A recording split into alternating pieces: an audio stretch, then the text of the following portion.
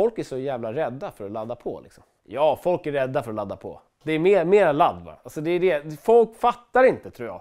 Alltså att det är det som är tricket. Skit i att ha massa tändning och grejer. Va? Alla som säger så här, åh jag har 500 hästar på en bars laddtryck. Ja, då, då får jag ont i magen.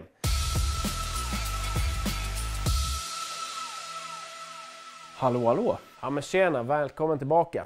Tack, tack. Hur är läget då? Ja men det är bra. Det har varit mycket med, med bilen. Jag har ju byggt en jäkla massa saker och ja, typ sågat av den på mitten och byggt upp den igen liksom. Ja, jag har sett det på Facebook. Hur har det gått på Youtube då? Lägger du ut någonting? Ja, men jag lägger ut lite ibland. Jag hade en period när jag var mer frekvent och med gatbilen och sådär. Men du vet, livet kommer emellan och det är byggprojekt och det är den snabba bilen och sådär. Och så har man ju en snäll och vacker fru också som man ska ta hand om och så.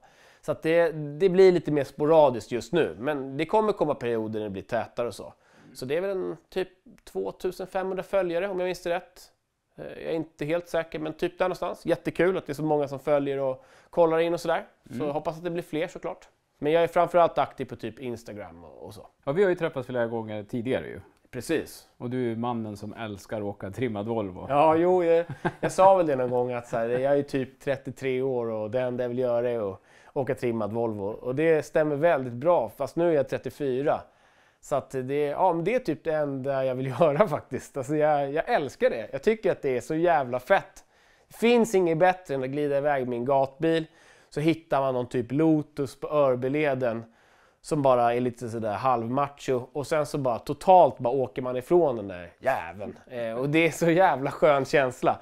Man ser där, du vet, här kommer jag i min sosse-container och bara drar om de där eh, racerbilarna som står härliga till. Det tycker jag är fett. Men du, förra gången jag var här så hade du en bil där ute. Ja, men precis. Är den klar nu eller? Ja, alltså den är, den är faktiskt helt färdig, men eh, det var ju den här lilla detaljen då att när det började gå bra så blev det också väldigt varmt. Eh, Jag och min kära vän Micke, eh, vi var ute och mappade lite och man vill ju alltid ha mer, så vi vred ju kammar och det laddades på och sådär. Så, nej, vi laddade en här 2,8 bar och då började den gå riktigt bra.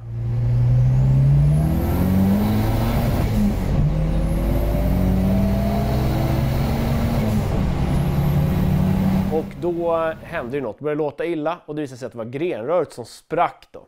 Så att, eh, då var det ju helt enkelt dags att fixa det. Och sen så har det fått stå och skämmas faktiskt. Jag har haft lite andra byggprojekt här hemma på tomten och så. Så att, eh, det har inte riktigt blivit, tillfälle. Men det har det blivit typ nu faktiskt, när säsongen är över. Så att eh, det ligger ju på bordet här bakom dig. Här har vi då grenröret och eh, hela egentligen wastegate-röret lossnade från grenröret här. Som ni ser här, min eminenta, väldigt fula svetsning här. Det är helt enkelt för att det är fint svetsat under här. Jag har bara tagit lite extra moms här så att det verkligen ska sitta, för jag har ingen lust att det här går sönder igen. Och dessutom är det ingen av er som kommer se det, för att jag ska ju linda det i August-bandage som jag alltid gör. Så att det kommer bli bra. Sen har jag haft lite problem med wastegate. Det blir som sagt väldigt varmt och den har haft lite läckageproblem. Jag kör ju med sån här Kina wastegate. Eh, de funkar jävligt bra faktiskt, ehm, generellt. Jag har haft ett par såna här genom åren. Men jag har haft lite otur med de här exemplaren faktiskt. Så att nu håller jag på att täta lite, lite trick och så. Eh, och den biten. Nu lyckades jag igår dra gängpaj på kopplingen där. Så att nu ska jag byta till underdelen här. Och så. Jag kan för övrigt då meddela att den här wastegaten brukade vara svart. Men den har liksom bytt färg för att det har gått lite varmt. Så den är, ja, jag är ju färgblind va, men, men det här är väl någon form av röd slash orange som jag skulle tro. Den här har också varit eh, väldigt blå en gång i tiden. Alltså sådär, eh, du vet, Ikea kasseblå. Den är nu mer, ja, lila eller något. Så att varmt blir det. Det är ju så när man laddar fullt liksom. Men du skulle ju bara ha bilen till och från dagis, eller vad var det? Ja, precis. Eh, och eh, det har inte blivit så jävla många turer till dagis faktiskt. Det blev en eh, och då gick det sönder någonting litet eh, skit på väg. Jag kommer inte ihåg vad det var. Så det var en snabb rask resa tillbaka och hämta den andra bilen då. Eh, det är som med alla sådana här byggprojekt så är det mycket barnsjukdomar. Eh, Och det är ju saker som bara ska lösas. Ja, du vet, det börjar brinna lite eller det är någon tändkabel som Eh, eh, blir för varm och, och liksom, eh, vad heter det, så här, smula sönder sig. Och det har varit lite vet, problem med någon oljeskvätt här och där och du vet, sådana saker. Det händer liksom, det hör till och det är bara saker man måste ta sig igenom. Så är det i alla bilbyggen. Det blir liksom inte perfekt första gången utan det är saker och ting som man får räkna med helt enkelt. Och lite sånt har det varit och det är typ bortjobbat nu. Det är ingenting som strular nu, allting fungerar perfekt. Sen var det bara det här lilla med grenröret då. Så när det är löst, då är det bara att tuta och köra.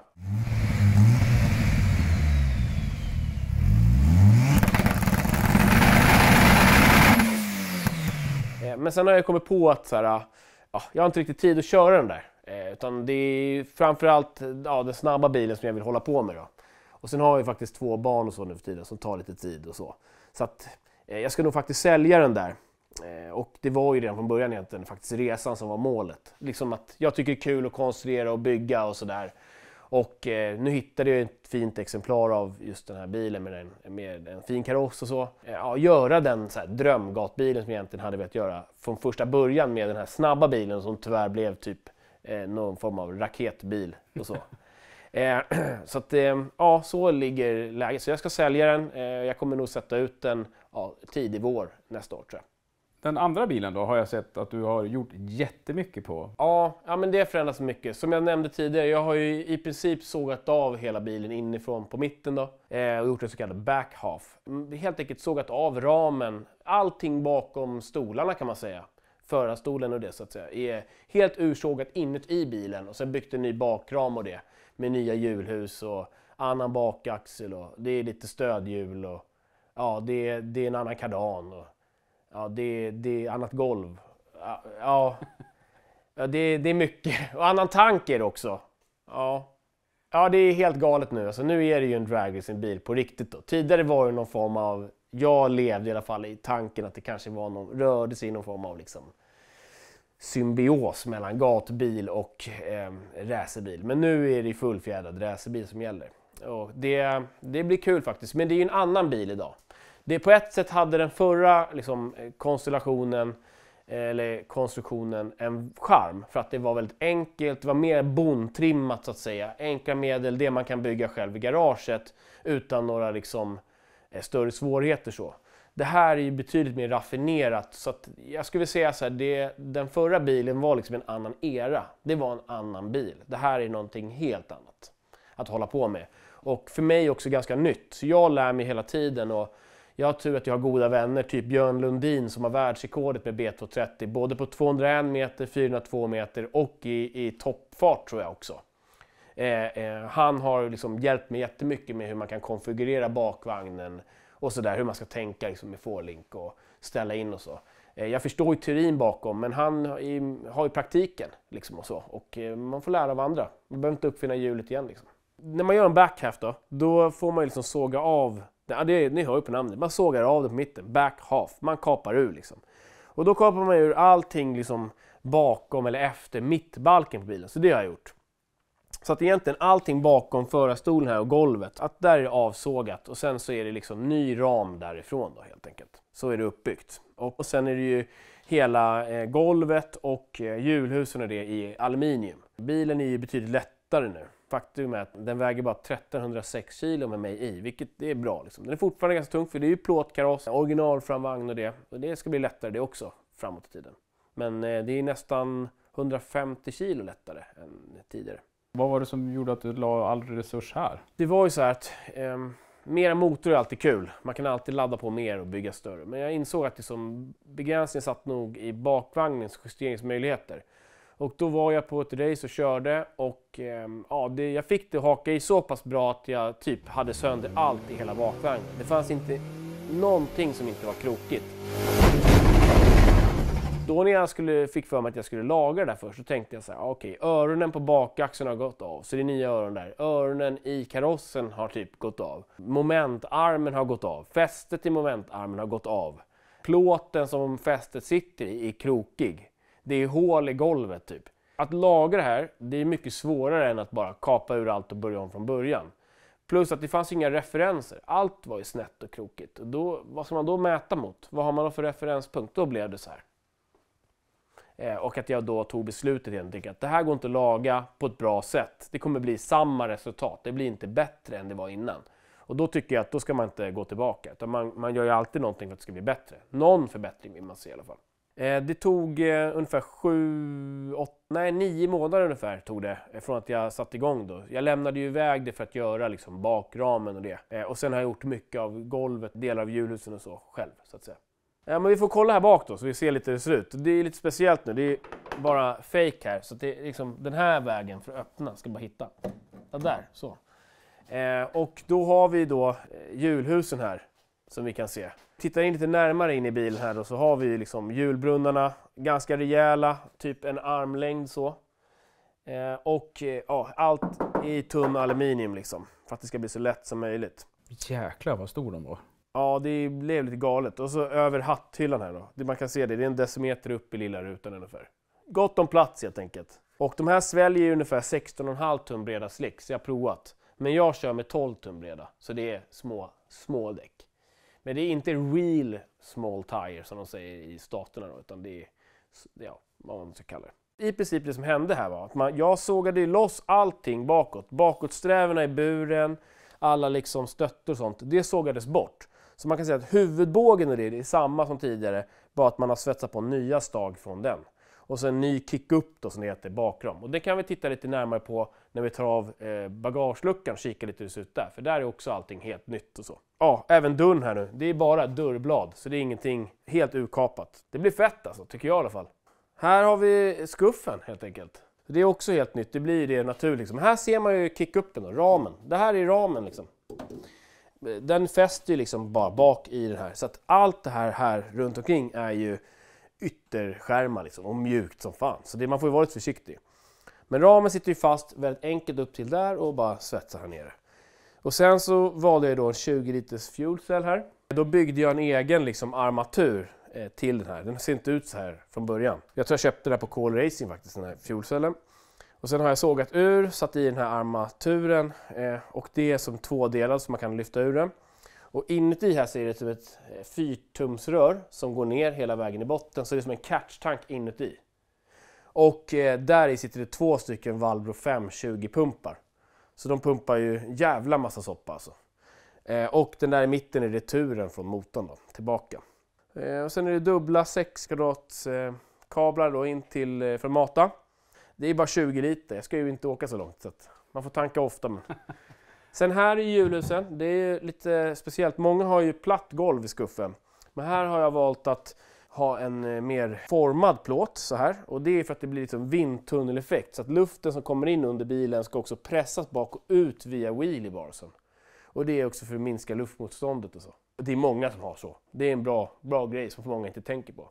Men du, bakaxeln. Mm. Sist jag var här då hade du Ford, var det 8 tum? Ja, 8.8 tum.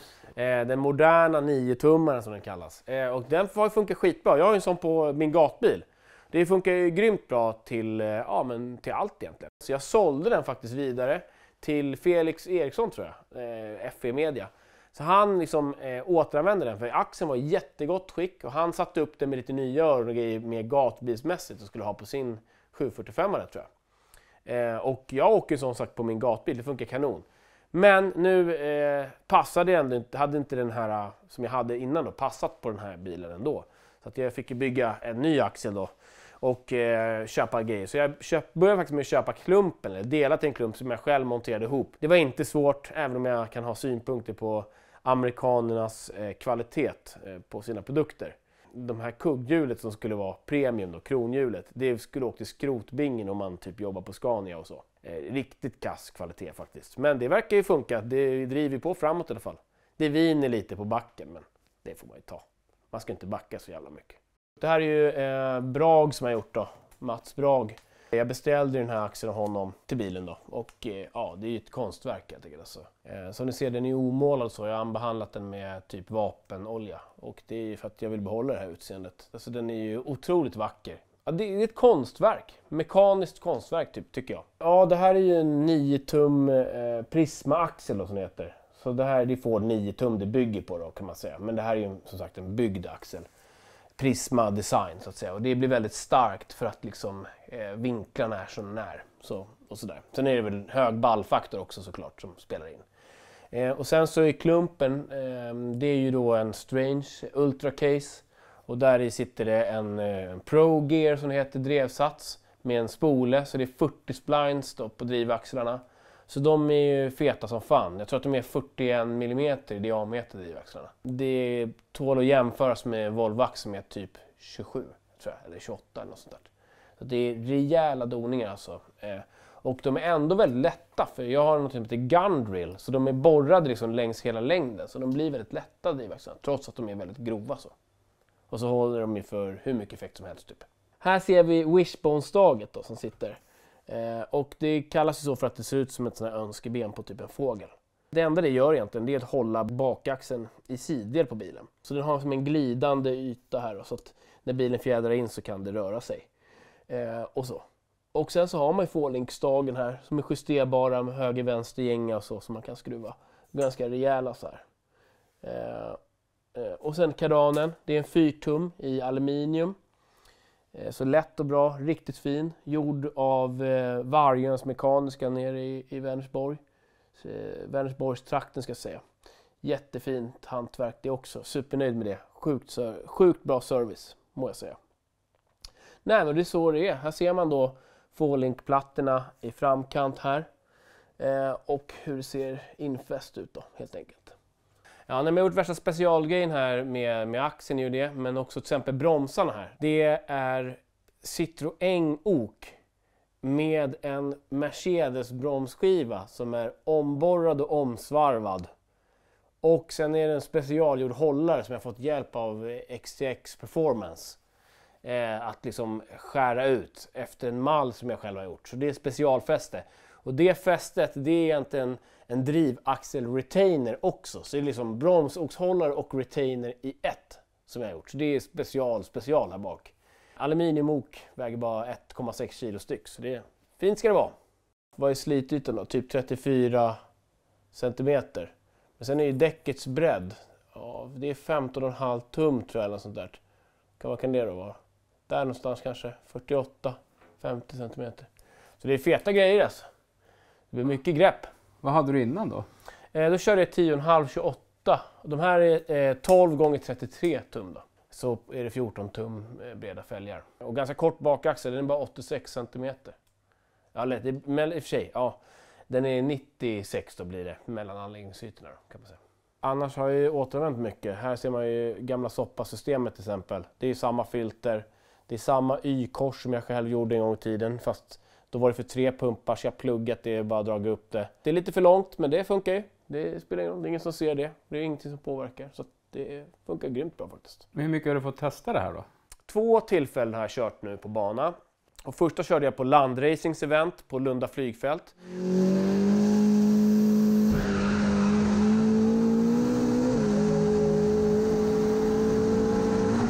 Det gick väldigt bra, körde direkt bara typ andra eller tredje repan in, körde personbästa på 9.26 då. Då hade jag ganska dålig 60 fot, typ 1.40 någonting. 1.49 kanske var, alltså ganska dålig så. Eh, och 246 km i slutfart. Så det var personbästa både tid och slutfart. Men vi filade ju ner 60-foten där sen till 1.33, vilket är det bästa jag har kört med det. Då var det ju tyvärr bara 200 meters race när de gjorde det. För de bröt liksom efter halva dagen och körde 201 meter då. Eh, men det genererade ändå en tid på 5.82 och då, eh, vad var det, det var 199 km i timmen tror jag, eh, om jag inte minns det fel. Och så. så det var ju ändå en grym tid. Det funkade riktigt bra faktiskt. Och här är ju motorn nu och det är samma koncept som när du var här tidigare. Lite annorlunda är det. Jag minns inte riktigt om jag hade bytt till en sån här uh, svängningsdämpare sist. Uh, och det är samma, det funkar jättebra. Uh, sen är det nytt uh, insug bara i princip nu. Så det byggde jag faktiskt inför sista tävlingen, testa. Det är inte min design, det är Israels Productions tror jag de heter. Israelsson Motorsport. Det är hans design. Sen har jag köpt jag ett kit som jag svetsat ihop själv och så. Så det är hemmabyggt här i garaget men färdigbockade plåtar och så. Jätteskönt med O-ringar istället för packning och sådär. Jag behövde alltid limma min packning för det läckte alltid lite. Så nu är det skönt med O-ringar. Sen är det samma spjällhus som tidigare. Jag har fått göra om tryckröret lite. Vinkla om det och ändra lite så att det ska passa med nya insuget. Annars är det väldigt lika. Det är samma turbo, samma grenrör och allt. Um, det är, nu är det screenpipe konfiguration här på turbosidan. Och det handlar om att i bänken så eh, gick faktiskt flexröret av. Så då var vi, för att kunna fortsätta så löste vi det lite snabbt och enkelt där. Men det funkar ju. Det, det gör jobbet så länge. Jag tror att det kommer bli en aluminium downpipe, eller rätt sagt avgasrör då i, eh, i vinter här. Så att det, det kvittar egentligen att det, det. Så blir det väl annan turbo också såklart. Jag har lite tankar på gång. Du har ett block där bakom dig Douglas. Som ska få smaka. Det vet inte om hur mycket det ska få smaka men det ska, få, det ska tuktas alltså. Tyvärr så hade jag ett litet missöde här sist på Kjula. Det var tändstift som gick sönder. Jag kan visa det här faktiskt. Jag har det här. Har jag ettans tändstift här. Och eh, som du ser så är elektroden gått av där och att porslinet där inne är borta. Om du jämför det med det här till exempel, som är helt. Och då kan man se liksom att det har hänt grejer där. Så de här delarna, de är ju någonstans där inne. Där inne. Eh, och sannolikt också i turbinen här. Så den är nog sallad så att säga. Eh, men det återstår att se hur illa det är. Jag körde in bilen i depån och det lät helt okej. Okay. Så vi får se hur illa det är. Är det inte så illa, då blir det en ny turbo och så kör vi vidare. Är det väldigt illa så blir det en ny maskin helt enkelt. Renovera och fixa. Och då, blir det, då ska blocket tuktas. Men jag mappade om den här så det blev lite mer effekt nu. Typ 750 på hjulen och vad fan blev det? 898 Newtonmeter. Det är inte fyskäms. Och så mer flack kurva på slutet då. Så att istället för att dala av på effekten så höjde vi tändningen ganska mycket eh, på slutet så att det liksom skulle hålla i effekten längre ut. Och så. Det var nog, eh, nog inte, det var någon som spekulerade om det skulle kunna vara anledningen till raset, men det tror jag inte. Utan det som hände var att eh, i lustgassteget så fick, hade ju, fick jag misständning för att tvåans tändhatt hade hoppat av. Och då blev ju hela styrsystemet eh, crazy bananas. Och när det är lustgas så blir det väldigt varmt och då brände jag säkert stiftet och det gjorde att det sprack och ramlade ner sen. Och jag provstallade ju så efteråt och det funkade ju, det gick jättebra. Men Det var ju sen när jag skulle köra som det liksom pajade igen då. Så det satt säkert på plats efter det stiftet och sen så gick det sönder då. Så det var tyvärr svårmärkt. Jag borde ju kanske säga efterhand ha bytt stift där och då. Men jag hade inga extra med mig faktiskt, vilket var lite dumt. Och så. Det här är ju från paycheck to paycheck alltså. Det är, mm, det är inte svårare än så. Alltså jag är en helt vanlig dödlig person som tjänar en helt vanlig Svenssonlön. Men jag får liksom stoppa undan eh, varje månad eh, och sen får man ta saker och ting pö om pö. Ha inte för bråttom. Tänk på att den här bilen har jag haft sedan 2008 eller något och hållit på med. Så det är länge, det är 15 år nu. Så saker och ting mm, tar tid. Det tar tid att bygga en dröm. Och eh, jag är en sån här som också gillar att lära mig nya grejer. Så det är mycket det att jag gör mycket saker själv. Tillverkar, konstruerar, svetsar. Som jag berättade för dig någon gång när Douglas, alltså, gick jag en svetskurs för att lära mig svetsa aluminium och sådär. För att jag liksom inte har råd att köpa det. Och det blir kanske inte weldporn, men det blir helt okej. Okay. Insuget sitter uppenbarligen här och det gick ju att ladda tre bar. 3,1 faktiskt. Målet inför nästa år är det här med att köra 8,5 sekund. Det är liksom min nästa grej. Att eh, ner till dit och först och främst ska jag köra 8, komma ner på 8. Och jag är ju eh, teoretiskt där. För på den här repan som jag berättade om när jag körde 201 meter och körde 5,82 och 199 km timmen eh, med en 60 fot. Om jag matchar den mot min 9,26 repa så kan jag ju se att jag är precis i brytpunkten att köra en 8. Så det får väl bli mitt mål liksom inför nästa år, att köra en 8. Och det ska ju garanterat gå. Om jag inte har gjort det i slutet på nästa år, då vet jag inte vad jag gör. Då blir jag tokig alltså. Det låter som en jättebra plan. Eh, då får vi säga på återseende då. För ja. då tänkte jag, då dyker jag kanske upp på någon bana eller på någon träff där när ni kör. Det vore skitkul. Det hoppas att vi ses där och då. Mm. Om inte annat så får jag titta förbi här nästa säsong. Ja, det tycker jag. Tack så länge. Ha det bra. Hej på dig. Tja.